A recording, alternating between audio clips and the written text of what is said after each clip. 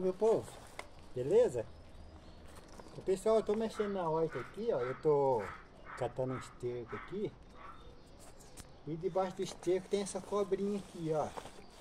Essa aqui é a cobra cega.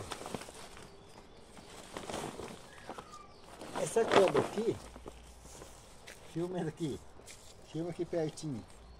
Essa cobra aqui, pessoal, é a cobra cega.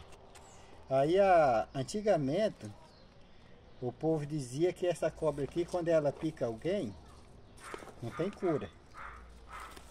Oh, ela tá brava.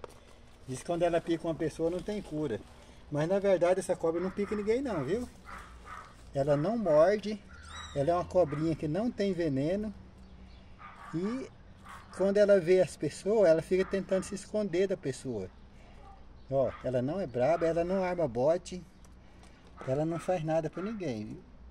Aí você vê, ó. Ela fica tentando se esconder, tentando se proteger. Essa cobra aqui, ela vive no lixo e vive escondida debaixo do chão.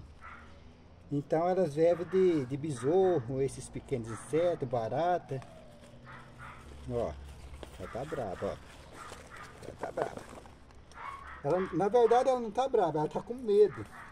Ela tá com medo de matar ela. Ó. Eu não estou pegando ela na mão porque a minha câmera que está filmando aqui já está tremendo. a minha câmera está tremendo, gente. Com medo dessa cobrinha aqui, ó.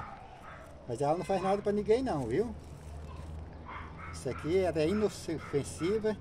Ela não pica, ela não tem veneno, ela não joga bote. Mas é uma cobra que faz muito medo para as mulheradas. Tá? As mulheradas têm muito medo dessa cobra aqui, ó. Ó. Deixa eu mostrar ela melhor para vocês. Pegou um pauzinho. Pera aí. Ó, vocês percebem que ela fica escondendo a cabeça de baixo, né? Ela fica escondendo a cabecinha de baixo. Pera aí, deixa, eu vou pegar essa cobra. Pera, calma. Não, ela tá meio violenta. Ó.